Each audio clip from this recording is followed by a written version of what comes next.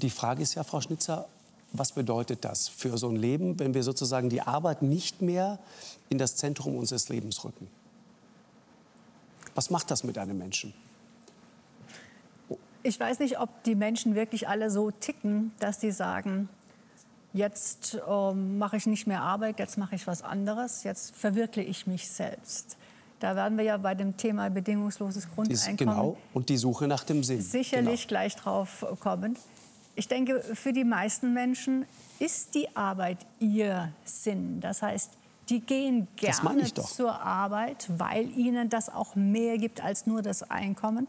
Das hat man übrigens bei Studien zu äh, dem bedingungslosen Grundeinkommen mhm. festgestellt. Mhm. Für die Menschen ist Arbeit auch sozialer Kontakt. Ja. Haben wir jetzt in der Pandemie erlebt. Genau, ja. die, wenn die im Homeoffice waren, das genau. hat alles gut funktioniert, aber sie haben die Menschen nicht gesehen. Es fehlt ihnen auch ähm, die Struktur, morgens aufzustehen, zu wissen, warum sie aufstehen, irgendwo hinzugehen. Das meine ich doch. Das ist das doch in uns so drin, dieses Gefühl, ja, ja. Mhm. du möchtest doch gebraucht werden. Mhm. Das ist doch die berühmte Suche nach dem Sinn. Das ist doch das, was uns alle letzten Endes treibt. Ja, aber nicht der einzige Sinn. Also früher war, war ne, also heute ist Arbeit eine Sinndimension im Leben unter mehreren.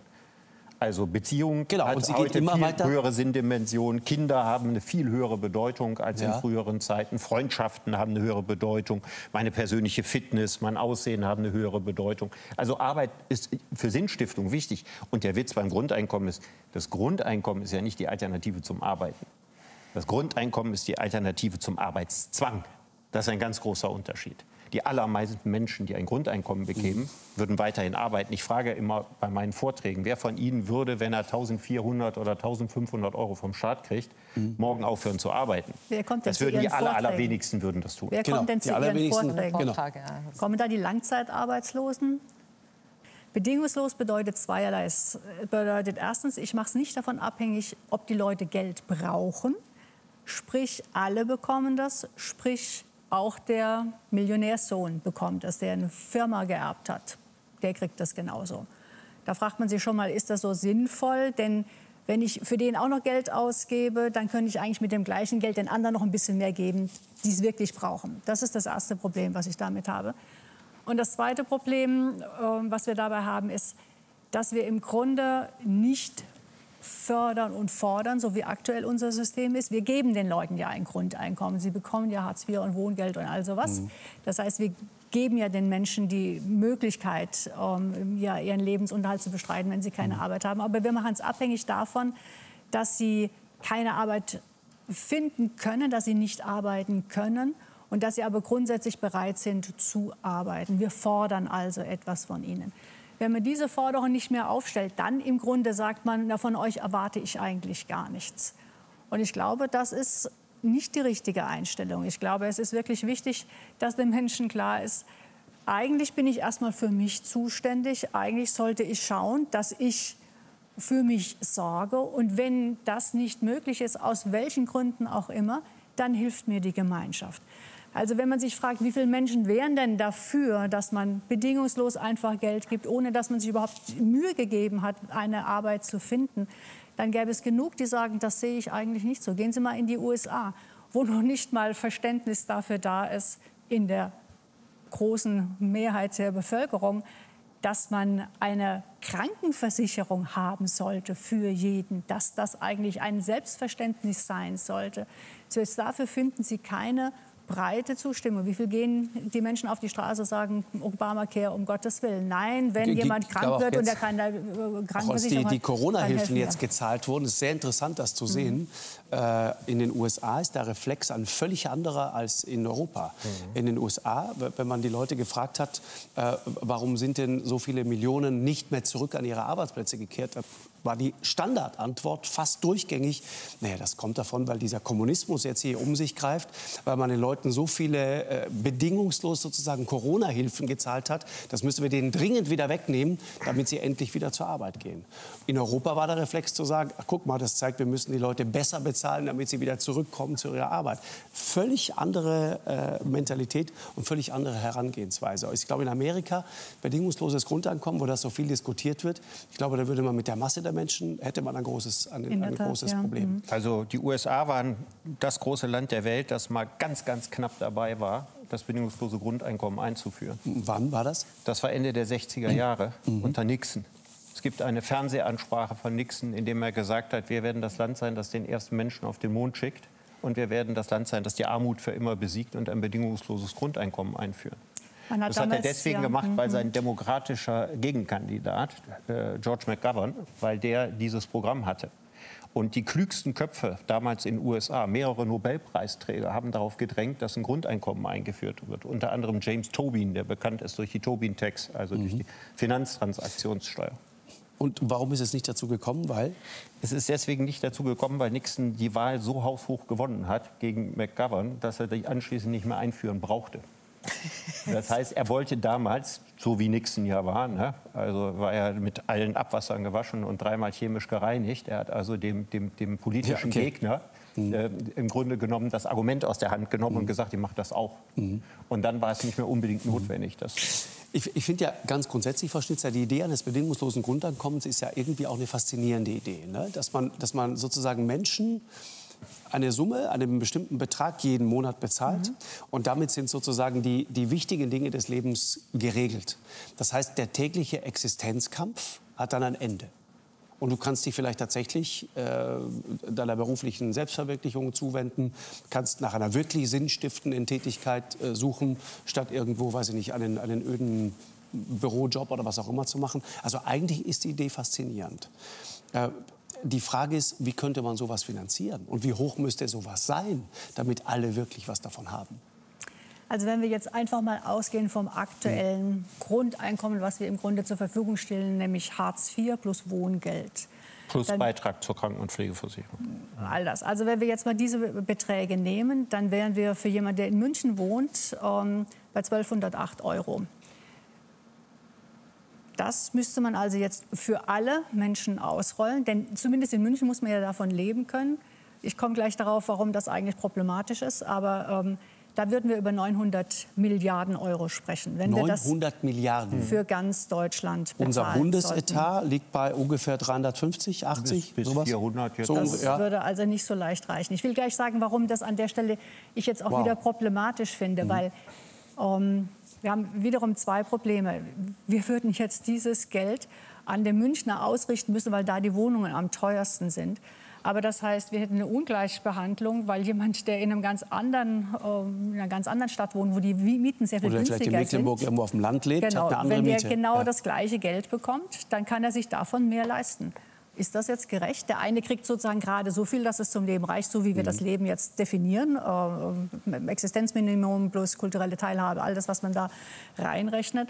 Ein anderer könnte sich mehr davon leisten. An der Stelle hätten wir also eine Ungleichbehandlung, mhm. wenn wir das nicht darauf konditionieren, wo leben die Menschen. Und zum Zweiten, wenn wir das jetzt pro Kopf machen, haben wir das nächste Thema.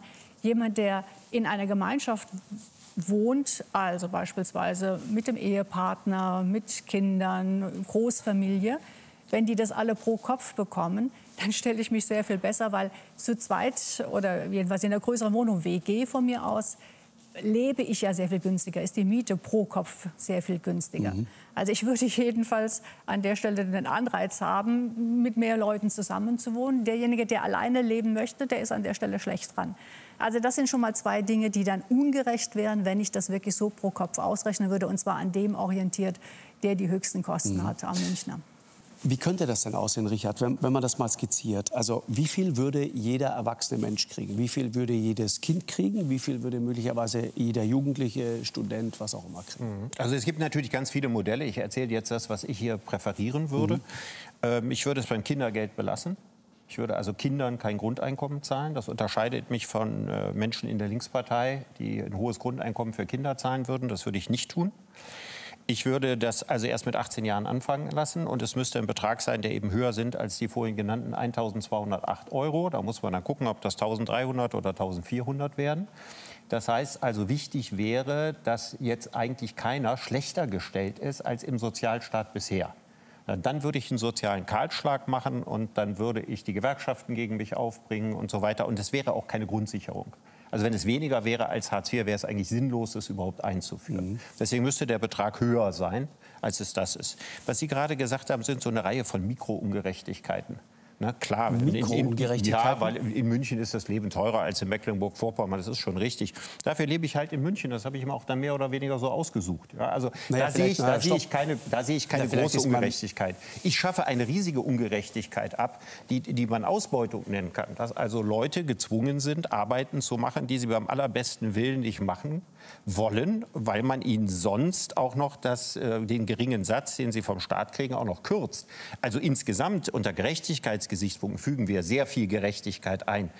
Und was diese Sache anbelangt mit den Millionären, wir müssen ja über die Finanzierung reden. Also ich finde es überhaupt keine so gute Idee, dass wir Arbeit so hoch besteuern.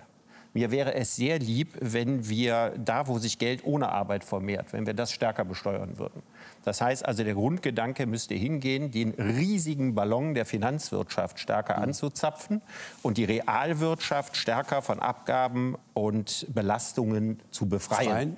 Das mhm. wäre die langfristige Tendenz, auf die wir hinarbeiten müssten.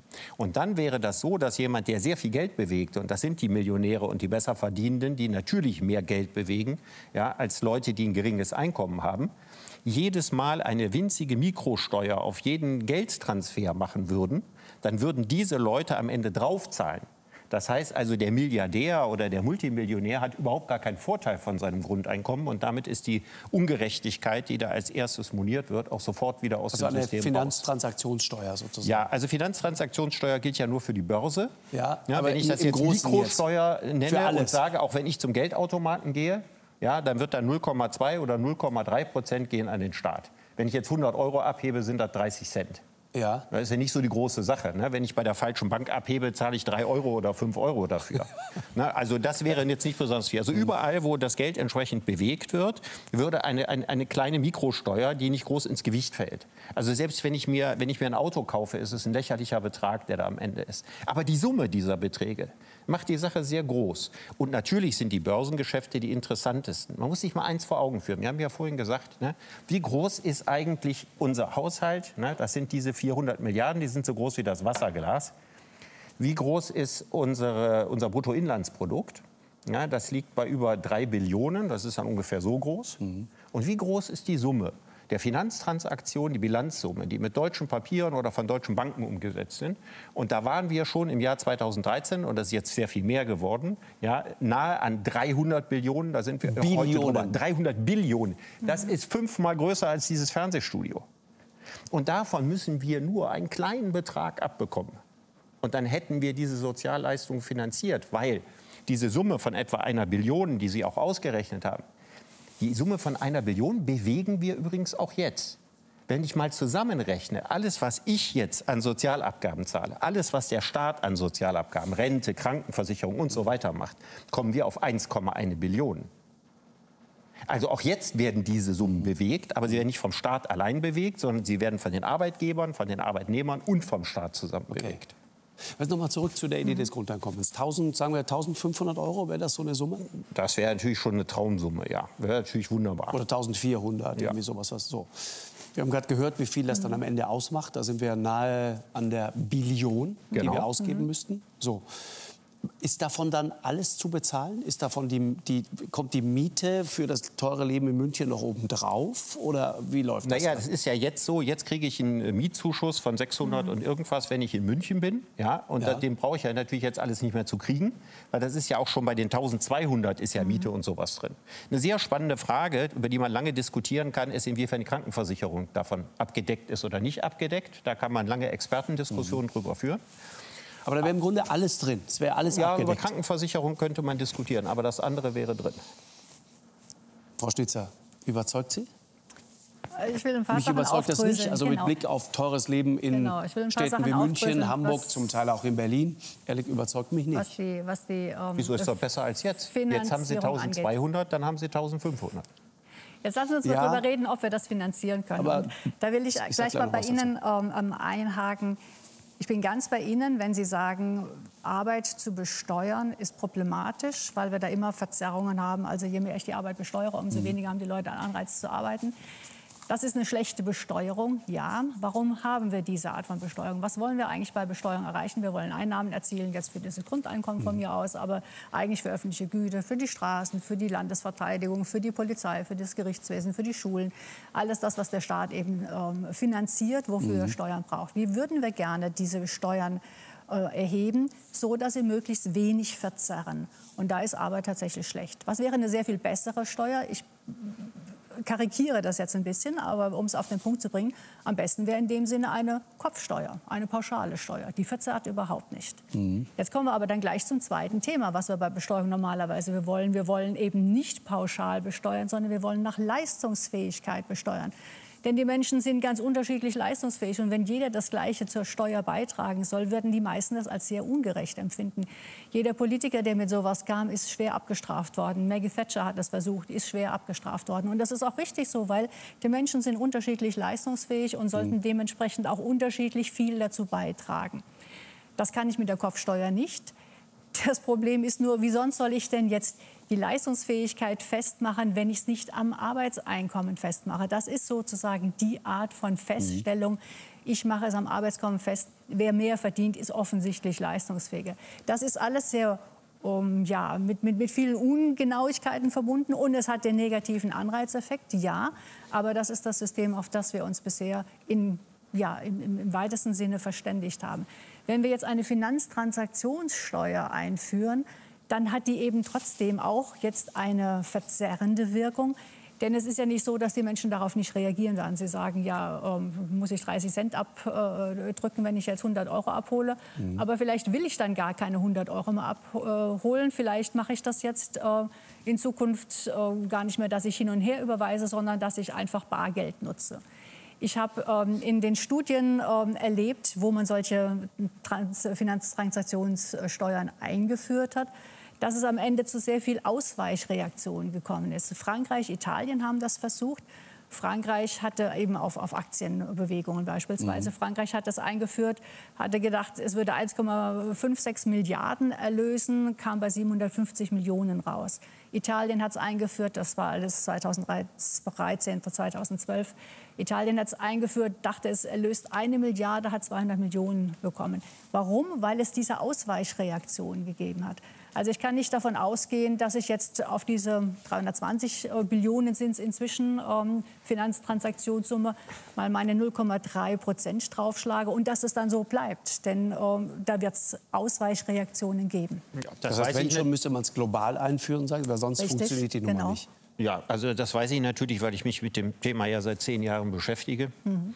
Und das Argument ja sehr häufig kommt. Nun muss man einmal dazu sagen, äh, diese Beispiele, waren keine Finanztransaktionssteuer, sondern eine Börsensteuer auf Aktienhandel, die es bisher gegeben hat. Finanztransaktionssteuer hat es früher mal gegeben, die sind ja mal abgeschafft worden. Aber das ist ja etwas, was früher real existiert hat und was dann bei uns in den 90er Jahren zum Teil eben gen Null runtergefahren wurde. Also keine völlig neue Idee der Menschheit, mhm. sondern etwas, was man lange Zeit praktiziert hat.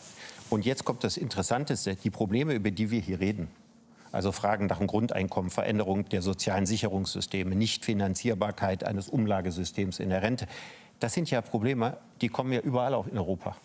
Mhm. Das heißt also, diese Dringlichkeit, dass man neue Finanzquellen neben der Besteuerung von Arbeit sich schaffen muss, die stellt sich ja überall.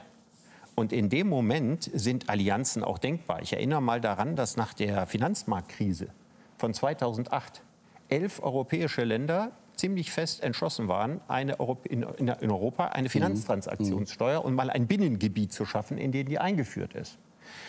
Und das Erschreckende daran ist, dass Deutschland in der Maske der Zustimmung unter all seinen Finanzministern, das gilt äh, für Steinbrück, äh, das gilt für Schäuble und das gilt vor allen Dingen für Olaf Scholz, das hintertrieben haben.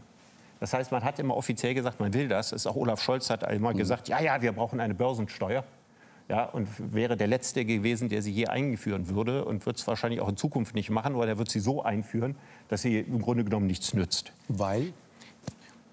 Ich denke mal, da, damals hat man gedacht, äh, das Wichtige ist, dass man die Deutsche Bank schützt. Ja, also dass man, dass man ein Spekulationsgeschäft, wo die Deutsche Bank ganz groß drin ist, dass man die schützt. Deswegen war immer auffällig ein Land wie Österreich war immer stark für Finanztransaktionssteuern, weil die Österreicher haben keine Global Player in der Finanzwirtschaft. Und die Franzosen waren für eine Finanztransaktionssteuer bis zum Brexit.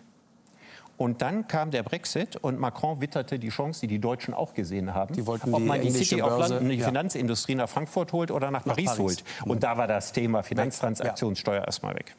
Und die Amerikaner Dito, ne? um jetzt mal ja. das Aber das, ich, ich gehe mal, davon aus, ich geh mal davon aus, mit der Dringlichkeit der Probleme werden plötzlich Dinge denkbar, die heute gar nicht als denkbar erscheinen. So war das übrigens immer in der Geschichte. Alles, was wir heute haben, Gewerkschaften, Flächentarifverträge, Mindestlohn, mein Gott, ist das alles über Jahrzehnte bekämpft worden. Das ist nicht finanzierbar, das schadet der Wirtschaft. In, in, der ersten industriellen Revolution hat man in England 4% mhm. Steuern gezahlt, ja, als Industrie und hat sich maßlos aufgeregt. Alles andere wäre wirtschaftsfeindlich und so.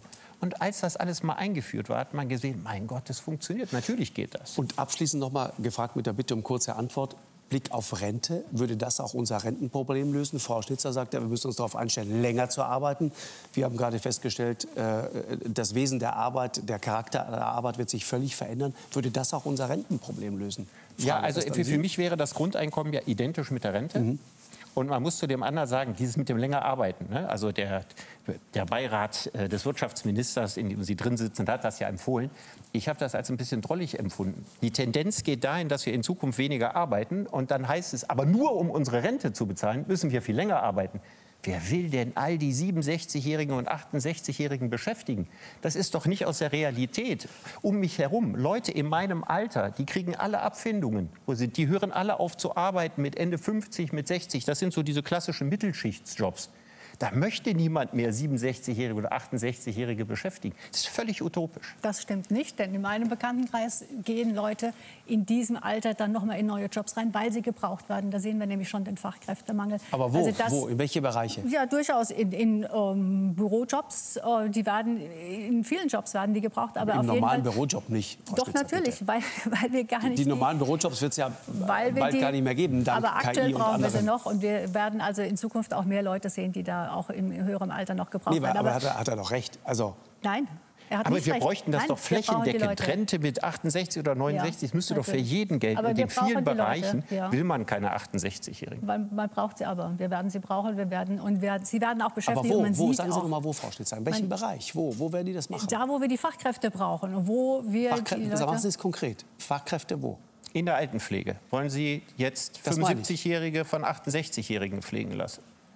Wir wollen die vielleicht dann anders beschäftigen, aber wir wollen noch Lehrer haben, wir wollen noch jemand in, äh, in der Verwaltung haben, wir wollen noch jemand haben, der Ingenieur Lehrer, ist, wir Lehrer wollen noch jemanden durch haben, der mit den Nerven baut. spätestens mit 60. Und was ist, wenn die Leute nicht mehr arbeiten wollen und müssen dann aber für ihre Rente all die Jahre noch dranhängen und machen dann Dienst nach Vorschrift? Das ist keine Lösung für unsere Wirtschaft und keine Lösung für unsere Gesellschaft. Wenn Sie nicht mehr arbeiten wollen, können Sie früher in Rente gehen, aber dann mit entsprechenden Abschlägen. Aber das ist jetzt ein anderes Thema. Wir wollen an der Stelle vielleicht noch vertiefen. Mal, diese 68-Jährigen, ja. über die wir gerade mhm. sprechen, 67, 68, wo, wo gehen die noch mal rein? Wo, wo arbeiten die? Die Fälle, die ich kenne, sind in ihren bisherigen Tätigkeiten in der Verwaltung beispielsweise ähm, in einem Unternehmen freigesetzt worden und haben dann Jobs in anderen Unternehmen, in anderen Behörden gefunden, die tatsächlich Leute gebraucht haben. Ich frage mich gerade, wer stellt der 68-Jährige ein? Auch in Ihrer coolen, hippen also, Branche. Also, wer stellt der 68-Jährige ein? Bitte nichts gegen 68-Jährige. Ich freue mich, wenn das passiert, aber mir fehlt die Fantasie. Dann haben Sie noch eine Chance. Ähm, ja. Äh, tatsächlich arbeiten also in der IT-Branche auch viele als Berater ja. dann später. Die gehen in Rente, sehr oft auch früher in Rente und arbeiten äh, äh als Berater für Unternehmen, äh, auch auf selbstständiger Basis. Ähm, meisten, aber das ist natürlich das ist doch die eine Ausnahme, oder Branche. Nicht, oder? Das ist doch die Ausnahme. Ja, in Spitzenbereichen, Berater, so. Coach und so weiter, das ist klar, ja. aber doch nicht flächendeckend.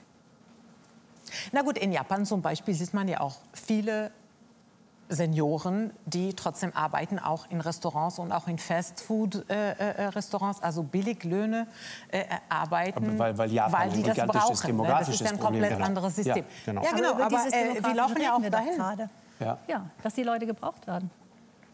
Das heißt, die Leute, die, die, die gebraucht werden, ja, aber die Frage ist, wollen, dass auch das Geld brauchen. Ne? Ich glaube, das wollen wir, genau, wollen wir dieses ja. Bild sehen? Also wollen wir das wirklich haben, dass ein 68-Jähriger im Fastfood-Restaurant dann irgendwelches Essen zubereitet? Es wäre doch eine völlige Umkehrung. Ich hatte ja vorhin gesagt, je höher der technische Fortschritt, mhm. umso weniger müssen die Leute noch arbeiten. Sie müssen sich Exakt. nicht mehr tot arbeiten und so weiter. Stellt und gerade unsere ganze These auf den Kopf. In dieser reichsten ja. Überflussgesellschaft, ja. die die Welt je gesehen hat, müssen wir nur für, wegen unseres Rentensystems und nicht aus irgendeinem anderen Grund die Leute jetzt immer länger arbeiten lassen.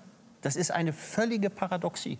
Ja, das ja, widerspricht ja, allem, was wir an historischer Erfahrung haben und es widerspricht jeder Vernunft.